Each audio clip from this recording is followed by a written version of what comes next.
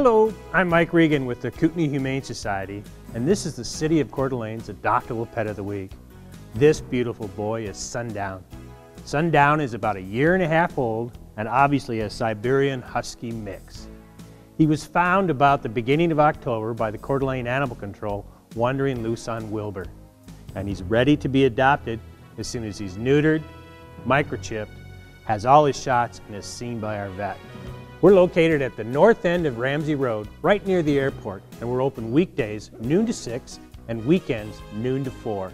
So come out and get to know Sundown or one of the many other shelter mates that calls KHS their temporary home. You might just find that Sundown or someone else just like him is your best friend.